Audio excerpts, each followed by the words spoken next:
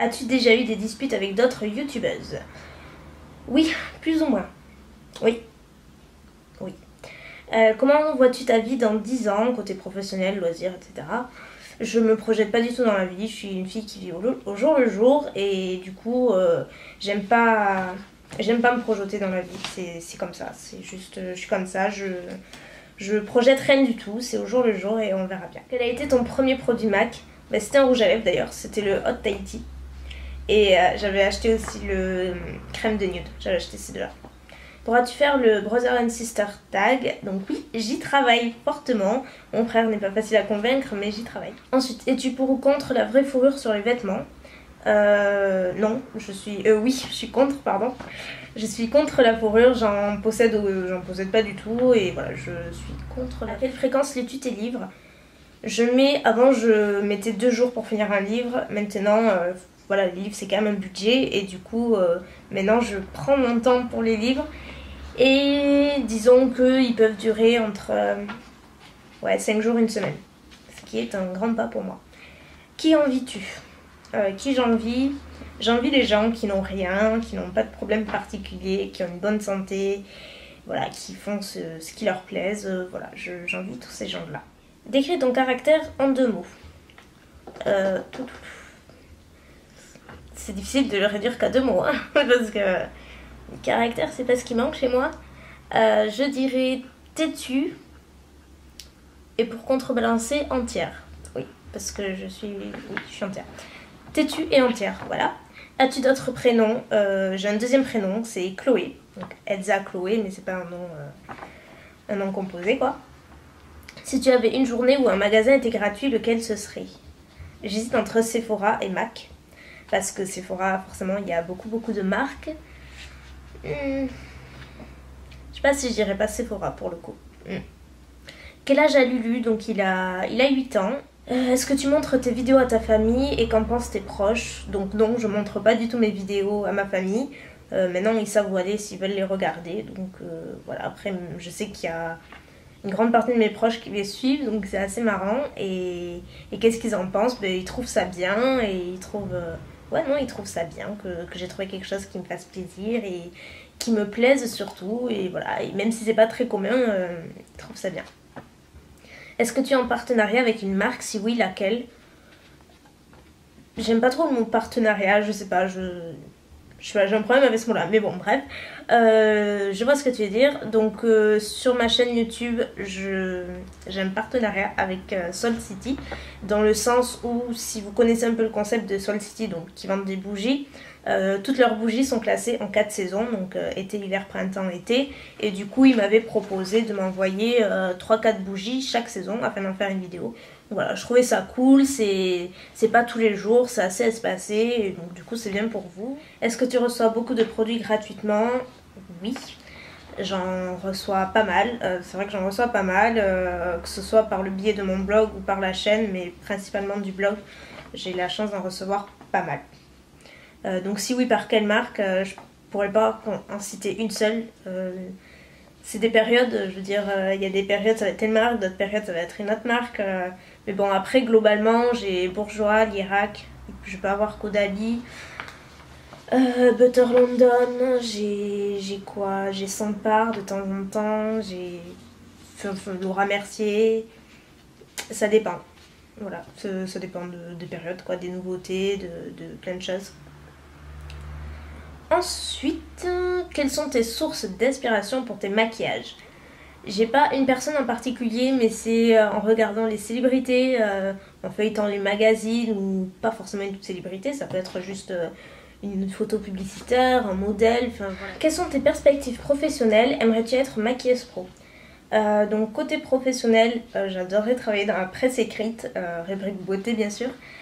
si j'avais eu un, disons que si ma vie avait pris un, autre tournant, je serais partie euh, en. J'aurais fait un bac L et après j'aurais sûrement fait des études de journalisme que c'était vraiment ce pourquoi je. C'était un truc qui me branchait énormément. Voilà, la vie a fait que.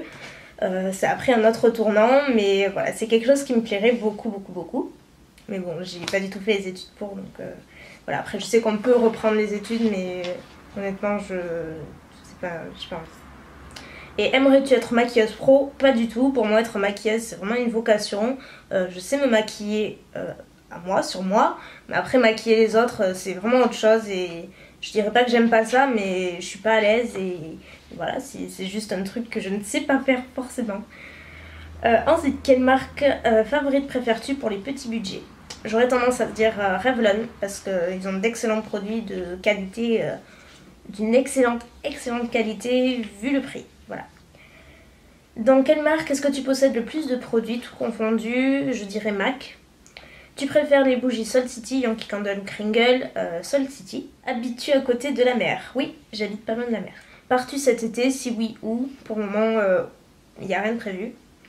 C'est ta couleur de cheveux naturelle. Je fais la couleur Casting Crème Gloss de L'Oréal en teinte marron glacé. Mais c'est juste quelques reflets en plus parce que ma couleur naturelle est très proche de la couleur que je fais. C'est juste pour que ce soit moins terne en fait. Ongle vernis ou French manucure euh, Ongle vernis. Regardes-tu les émissions de télé-réalité? Donc j'ai répondu. Que penses-tu du blanchiment dentaire? Alors moi j'ai voulu, j'ai essayé à trois reprises avec Crest, mais les, dernières, euh, derniers essais que j'ai fait, euh, ça m'a pas plu du tout. J'avais essayé les bandes de Crest, je sais plus lesquelles, mais ça m'avait vraiment donné les dents super sensibles, une sensibilité, mais euh, limite j'avais mal, donc j'ai tout de suite arrêté. Et du coup maintenant je ne fais plus jamais ça. Entre l'iPhone 4 et le 5, tu préfères lequel euh, Le 5. Quel est ton film d'amour préféré? N'oublie jamais, qui est aussi mon film préféré de tous les temps. Quel genre de livre? Euh, J'aime bien les livres fantastiques, les comédies, que ce soit dramatiques, romantiques ou les comédies tout court. Voilà. J'aime à peu près tout, sauf tout ce qui est policier, épouvante, horreur, ce genre de trucs. Quels animaux aimes-tu? Ben, J'aime bien les chiens. Euh, lequel te ferait rêver d'avoir? Aucun particulier. J'aimerais bien avoir un petit chihuahua. Mais bon, j'ai lu et il est trop possessif et assez méchant pour ça. Quelles sont tes séries préférées du moment? J'en suis plein. J'en suis une tonne. Je dirais Once Upon a Time, Revenge, um, Revenge, Pretty Little Liars. Voilà, c'est mon top 3.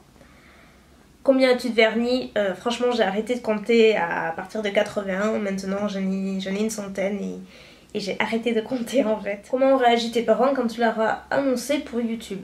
Donc comme j'ai dit, ma mère m'a grillé très vite.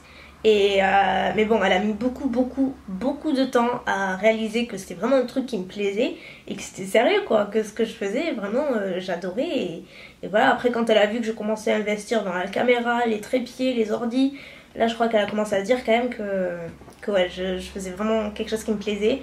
Donc là, là ça y est, elle commence vraiment à comprendre. Et mon père, euh, bah, après, il trouve ça bien que je fasse ce qui me plaît, et voilà, il trouve ça cool. As-tu déjà testé la marque Référence? Non. Euh, vas-tu faire un meeting avec des youtubeuses prochainement? Euh, Non, c'est pas prévu. Préfères-tu quel magasin? Kiko, Sephora, The Body Shop ou Yves Rocher? À choisir, je dirais Sephora parce que c'est là qu'il y a le plus de marques. Tu habites maison ou appartement? Maison. Et tu sais parler combien de langues? Deux, français et anglais. Combien de vidéos tournes-tu par semaine? Deux à trois vidéos par semaine. Enfin, J'en publie 2 à 3 euh, sur YouTube, mais je peux en filmer plus dans la semaine. Parce que généralement, je m'organise euh, de façon à avoir des vidéos en avance en fait. Donc euh, je, peux, je peux tourner 4-5 vidéos par semaine, ça m'est arrivé. Voilà, ça dépend. Je m'organise en fonction de. Combien de temps passes-tu à faire tes vidéos, les monter, répondre aux commentaires, alimenter ton blog, ta page Facebook par jour? Alors ça, honnêtement, c'est juste un temps monstrueux et j'ai pas calculé, j'ose pas calculer, c'est des heures et des heures et des heures et des heures. Tu devais choisir un seul vernis, lequel ce serait euh, Le Fiji de Essie? Tu as déjà eu les cheveux courts Si oui, que faisais-tu comme coiffure? Ça a été ma bête noire, cette période-là. Ben, c'était depuis toute petite, jusqu'à l'âge de, de 13-14 ans, j'ai eu les cheveux courts comme un garçon. Mais super courts vraiment très très court. C'était euh, une coiffure horrible. Mais bon, c'était la mode à l'époque, mais c'était. À chaque fois que je sortais du coiffeur, je pleurais. Et je le dis encore à ma mère, mais elle m'a traumatisée avec ça, quoi. Elle me voulait les cheveux courts. Et moi, tout ce que je rêvais, c'était d'avoir les cheveux super longs et tout. Et, voilà, je m'étais même acheté une perruque, pour vous dire. Euh, franchement, moi et mes cheveux, euh, tout le monde s'en rappelle dans la famille. Hein. C'était une grande histoire. Et du coup, j'ai oui, j'ai eu les cheveux très très courts. Et à partir du moment où j'ai pu commencer à, voilà, à, choisir mes propres vêtements, mes propres coiffures, j'ai dit à ma mère, ne m'amène plus au coiffeur, je les fais pousser. Et voilà, et depuis, euh, depuis ils sont longs et ils seront plus jamais aussi courts, mais plus jamais plus jamais. Ensuite, je sais plus où que j'en étais, donc que faisais-tu comme coiffure? Ils étaient très courts, donc je faisais pas grand chose, ils étaient plaqués sur les devants et vous savez, les, pics sur le derrière là. Oh putain, c'était horrible, c'était horrible. C'était trop la mode à l'époque, oui, mais euh, ah, je détestais, je détestais ça quand la coiffeuse mettait le gel comme ça, je mettais ma barrette. Oh putain, c'était horrible. Traumatisée par ce. Ah non, moi, euh, moi et mes affaires capillaires, mais traumatisée quoi. Quels sont tes goûts musicaux? Euh, Franchement, j'écoute de tout, je suis pas très compliquée de ce côté-là. le seul truc que j'aime pas, c'est le métal, le rap, voilà, le rap pur et dur quoi ouais, le métal, voilà. Après, j'aime à peu près tout, donc je suis pas compliquée de ce côté-là, franchement, ça va. Est-ce que tu testes tous les produits que les marques et sites t'envoient grâce aux vidéos YouTube? Pas forcément tous, il y en a qui me correspondent pas forcément, tant au niveau des couleurs que si c'est en matière de soins. Déjà, les soins, j'évite de, trop tester parce que voilà, je suis pas trop. Je veux pas faire le cobaye avec ma peau. J'ai eu trop de problèmes avec ça, avec l'acné, donc du coup, euh, du coup j'évite. Mais, mais oui, après, quand euh, après, les marques me contactent pour me faire tester des produits, à moi de dire oui ou non. Je dis euh, bien plus souvent non que oui. Donc euh, voilà, après je sais ce que je teste à l'avance. Je reçois jamais des trucs comme ça sans, m'avoir demandé. Donc globalement, évidemment, je, je, teste tous les produits dans la mesure où, où, je suis au courant et je sais ce que je vais tester. Voilà. As-tu déjà été blonde? Non. J'ai eu des mèches, mais blonde blonde, non jamais. Quel âge a ton frère? Il a 14 ans. Ta famille t'aide à faire des vidéos? Non, pas du tout. Jamais. Euh, aimes-tu les chats? Oui, j'aime bien les chats. J'aime bien les chats, mais j'en ai jamais eu. Pourquoi tu changeais de décor? Pour une raison toute simple. Euh, c'est juste que pour moi, avoir une chaîne beauté et filmer dans une cuisine, où derrière euh, bah, il y avait euh, la table, il y avait toujours, euh, toujours de la bouffe dessus, il y avait toujours du bazar, enfin, il y avait mon frigo derrière, c'était voilà, pas forcément l'arrière-plan rêvé, mais bon, j'avais pas d'autre moyen de filmer à la chambre non plus. Et puis après, voilà, les choses ont fait que j'ai réussi à me faire un petit emplacement à ma chambre, et je trouve ça quand même vachement plus sympa d'avoir un arrière-plan un peu plus cocooning et voilà qui correspond plus à ce que je fais sur YouTube. Et voilà, ça fait moins fouillis. Euh, pourras-tu faire une vidéo update sur tes 10 vernis préférés pour le printemps? Oui, sans problème. Penses-tu que tes vidéos peuvent être un tremplin pour ta carrière professionnelle? Euh, Je pense que oui. Je pense que oui. Enfin, après voilà, je, comme j'ai dit, je me projette pas dans le futur. Je me voilà, je projette pas une carrière particulière. Je vis juste au jour le jour. Après, c'est sûr que via le blog et, la chaîne, on se fait des contacts à droite à gauche dans le milieu de la beauté. Donc euh, sur, la, sur la longue durée, c'est sûr que je pense que oui, voilà, il suffit de tomber au bon moment, au bon endroit avec les bonnes personnes, ça peut le faire. Donc euh, oui, ça peut, être, ça peut être un tremplin. Je veux dire, il y en a plein qui ont réussi euh, comme ça. Donc oui, pourquoi pas. Quel fond de teint utilises-tu en ce moment? Le Vita Lumière Aqua de Chanel. Pourrais-tu nous faire des tutos coiffure? Donc ça, c'est un truc que vous ne verrez pas sur ma chaîne parce que je suis une vraie quiche en coiffure.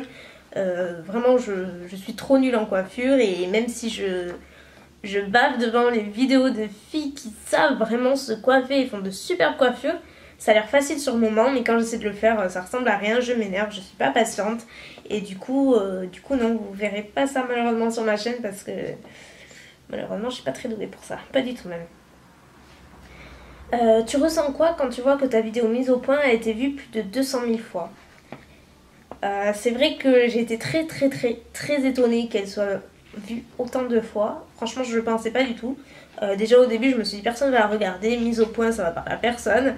Et puis bon, il se trouve que je crois que c'est ma deuxième vidéo la plus vue. Donc c'est assez incroyable. oui, c'est assez incroyable. Là, pour le coup, moi qui voulais euh, mettre les choses au clair, euh, je crois que j'ai touché un maximum de monde, mais je m'y attendais vraiment pas, mais alors pas du tout. Ton parc d'attractions préféré? Euh, Disneyland. Ton parfum de glace préféré? J'en ai deux, pistache et cookies, je crois que c'est... Je sais jamais si c'est cookies, de chez et Ben Jerry, enfin les deux, les deux saveurs sont les mêmes. Plutôt cuisine japonaise, indienne, frenchy, marocaine, italienne, plus plat préféré. Euh, à choisir entre tout ça, je dirais italienne. Tiens, ouais, italienne, ça me paraît bien. Quand est-ce que le Share the Love aura lieu? Pour le moment, c'est, j'ai vraiment pas eu le temps de trouver d'autres chaînes. Euh, voilà, là, je suis en plein préparatif pour Londres, bien que vous verrez la vidéo après.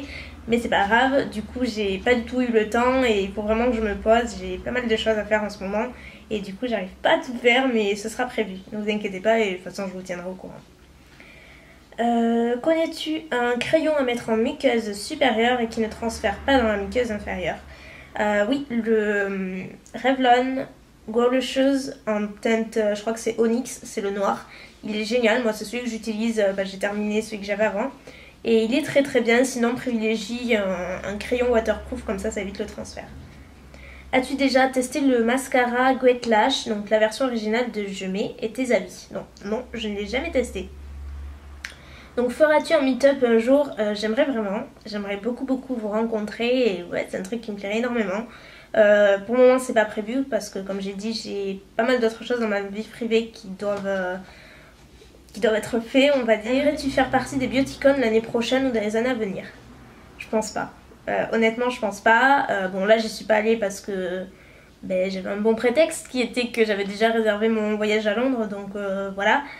Après, euh, je suis pas très tout ce qui est événementiel et tout. Je, quand il y a beaucoup de monde, euh, là il y a les caméras et tout. Enfin, voilà, j'aurais pas été à l'aise et je suis pas, je suis pas prête pour tout ça. Euh, comment fais-tu pour avoir une dentition aussi parfaite? Alors j'ai pas du tout une dentition parfaite, mais vraiment pas. J'ai jamais porté d'appareil dentaire de ma vie et surtout je ne suis jamais allée au dentiste de ma vie. Donc vraiment jamais. Techniquement, j'y suis allée quand j'étais toute petite pour me faire arracher une dent qui ne tombait pas. Euh, mais voilà, après, je n'y suis jamais allée. Moi, le dentiste, c'est quelque chose que je ne connais pas. Euh, dans le milieu médical, je connais plein d'autres choses, mais alors le dentiste, c'est je connais pas et je ne veux surtout pas connaître. Euh, coucou Elsa, voici mes questions. As-tu toujours aussi mal au dos que dans ta vidéo mise au point et comment vas-tu? Donc pareil, c'est une vidéo qui revient très souvent, donc disons que mon dos, ben voilà, ça s'arrange pas. Euh, en fait, pour être honnête avec vous, j'aimerais, enfin j'aimerais, je sais pas si j'aimerais, mais je sais que voilà, ce sont des questions qui reviennent très souvent. Donc certes, c'est beaucoup plus personnel, ça n'a rien à voir avec la beauté, mais ce sont des questions qui reviennent très souvent et voilà, 90% de ce genre de questions, je vois que voilà, c'est pas du tout intéressé, c'est pas de la curiosité mal placée, c'est voilà, ça part d'un très bon sentiment et c'est pour ça que je réponds à cette question, que je sais qu'elle part d'un bon sentiment. Et du coup, euh, je pensais, je sais pas, faire une vidéo ou un article sur, euh, sur ce qui m'est arrivé en fait. Euh, au niveau de ma santé, dans le sens où c'est pas du tout pour, me, pour vous dire voilà il m'est arrivé ça, ça, ça, pas du tout. Alors vraiment pas, c'est pas du tout mon genre. Mais c'est surtout que, voilà, quand je vous ai parlé un petit peu de mes problèmes de dos, de scoliose, de ce qui m'est arrivé, euh, j'ai vraiment réduit le truc. franchement, vous savez rien, vraiment rien. Et euh, du coup, euh, j'ai reçu plein plein de mails de personnes qui souffrent également de scoliose et qui m'ont dit il faut que tu te fasses opérer, tout ça, mon opération s'est trop bien passée, il faut vraiment que tu le fasses, tout ça. Ou alors il y a des gens qui me demandent voilà, j'ai peur de me faire opérer, à quoi je dois m'attendre, tout ça, mais vous imaginez pas le nombre de mails que je reçois à ce sujet. Et du coup, euh, du coup ça me gêne toujours de répondre à mesure où je n'ai pas parlé vraiment de A à Z. Et euh, dites-moi vraiment si une vidéo, si pour les personnes que ça intéresse dans le bon sens du terme et pas de la curiosité mal placée, tout ça, parce que ça j'en veux pas. Mais euh, voilà, pour les personnes qui sont dans cette situation, si ça peut vous aider de connaître mon histoire à moi, parce que je crois que moi, si j'avais su que quelque chose comme ça pouvait m'arriver, je l'aurais peut-être pas fait. Et voilà, je veux faire fuir personne, mais en même temps, euh, voilà, la vérité, des fois, il faut la savoir. Et voilà, si vous avez des problèmes de, de scoliose, j'entends, et que vous voulez vraiment connaître mon histoire, je le ferai, sans problème. Mais euh, voilà, je veux vraiment que ça vous intéresse et voilà, je le fais pas juste pour raconter mon histoire et pour dire voilà, il m'est arrivé ça, ça ou ça, c'est pas mon truc. Donc euh, voilà, donc du coup, j'ai pas répondu à ta question. Oui, j'ai toujours mal au dos parce que ma situation ne s'est pas améliorée dans la mesure où voilà, la seule solution que je peux faire, j'ai pas envie de la faire. Et comment je vais euh, ben, Ma foi, il y a des périodes, voilà, il y a, des périodes ça va très très bien, d'autres périodes je peux passer un mois, c'est très douloureux. Mais euh, voilà, ma situation est très particulière, très différente et, euh, c'est pour ça que c'est difficile pour moi de m'expliquer juste sur la fac. Donc si vous voulez une vidéo complète à ce sujet, vraiment je le ferai pour les personnes qui s'intéressent. Donc voilà, dites-moi ce que vous en pensez parce que je le ferai pas si ça vous dit pas. Je voulais savoir si les structures étaient adaptées pour un voyage à Londres. Donc en matière d'accessibilité, donc, euh, donc pour te répondre, oui, c'est totalement adapté. Ça n'a rien à voir avec la France. Ils sont complètement dans un autre niveau là-bas à Londres. Les taxis sont super adaptés et euh, vraiment, j'ai jamais eu aucun souci. J'y suis allée, je sais plus quoi, 3-4 fois maintenant et euh, c'est franchement hyper adapté. Les gens sont hyper respectueux, très accueillants, toujours prêts à aider. Donc voilà, tu peux y aller vraiment sans hésiter.